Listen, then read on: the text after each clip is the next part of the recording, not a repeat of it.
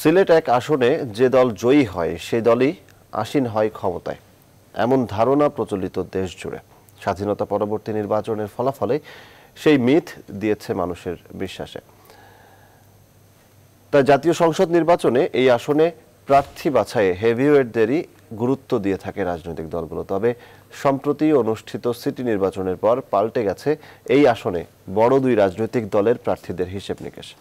সিলেট থেকে শাহ দিদার আলম নোবেলের তথ্যচিত্রে ডেস্ক রিপোর্ট। ধর্মীয় সম্প্রীতির শহর হিসেবে পরিচিত সিলেটে রয়েছে পাঁচটি সংসদীয় আসন, আর এই পাঁচ আসনের মধ্যে অন্যতম সিলেট এক। প্রচলিত আছে এই আসনে বিজয়ী দলই সরকার গঠন করে, আর এই আসনের বিজয়ী সাংসদরা পান সরকারের গুরুত্বপূর্ণ মন্ত্রণালয়ের দায়িত্ব। তাই প্রার্থী বাছাইয়ে বিশেষ গুরুত্ব দিয়ে থাকে রাজনৈতিক দলগুলো। দরজায় কড়া নাড়ছে একাদশ সংসদ নির্বাচন। রাজনৈতিক দলগুলোতে শুরু হয়েছে ভোটের হিসাব নিকাশ। তবে ক্ষমতাসীন দলের জন্য দুঃসংবাদ হয়ে দেখা দিয়েছে, আগামীতে এই আসনে অর্থমন্ত্রীর নির্বাচনে অংশ না নেওয়ার ঘোষণা।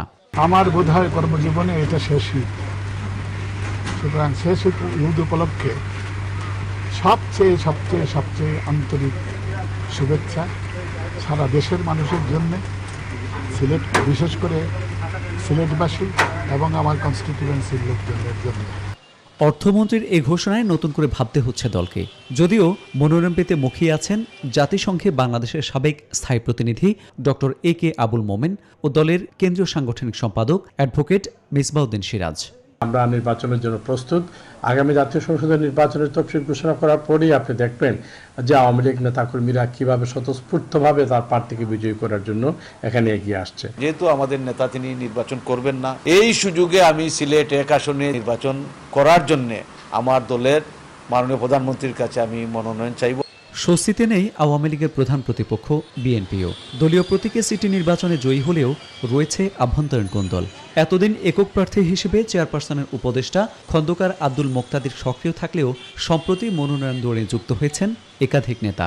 যদি দল মনে করে আমাকে দিয়ে এই আসনে প্রতিনিধিত্ব করাবে দলের কর্মী হিসাবে আমি দলের একনিষ্ঠ কর্মী হিসাবে আমার সার্বক্ষণিক প্রস্তুতি আছে দলের দায়িত্ব পালন করার জন্য। রাজনৈতিক অবস্থানটা শুধু তাই নয়, সাধারণ মানুষের সাথে সম্পৃক্ততা এবং কাজ, এই সব কিছু মিলে আমি পাওয়ার যোগ্যতা রাখি ইনশাল্লাহ আশা করি এটা হবে।